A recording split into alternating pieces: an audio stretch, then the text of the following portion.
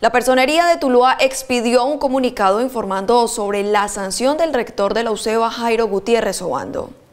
El comunicado dice textualmente, la Personería Delegada para Vigilancia de la Conducta Disciplinaria en Audiencia Verbal, mediante fallo de primera instancia número 01 del 12 de julio de 2019, dentro del proceso con radicado 100 2101001, resolvió sancionar con 10 meses de suspensión en el ejercicio de su cargo o función al rector de la Unidad Central del Valle del Cauca, UCEBA, Magíster Jairo Gutiérrez Obando, al encontrarlo responsable de transgredir el ordenamiento disciplinario contenido en el numeral 16 del artículo 34 de la Ley 730 de 2002, quebrantando en forma sustancial su deber funcional al negar la información requerida por la personería del municipio de Tuluá necesaria para garantizar los derechos al debido proceso, a la honra y al buen nombre de un estudiante de la Unidad Central del Valle del Cauca, cuestionado públicamente por el representante de la institución universitaria, intervención que fue requerida por el padre de familia del universitario afectado.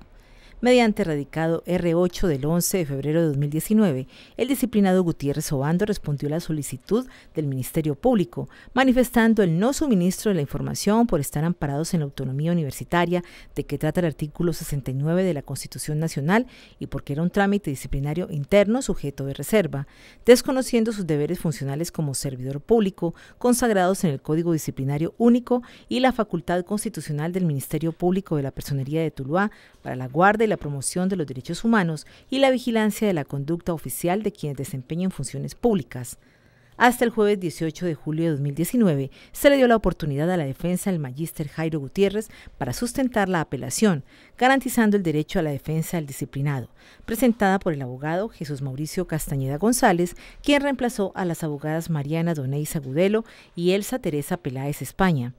Antes de decidir el recurso de apelación, el personero de Tuluá deberá resolver la nueva recusación presentada por la defensa del señor Jairo Gutiérrez y luego remitirla a la Procuraduría Provincial de Uga para que se defina la procedencia de la misma de conformidad con el artículo 87 de la Ley 734 de 2002.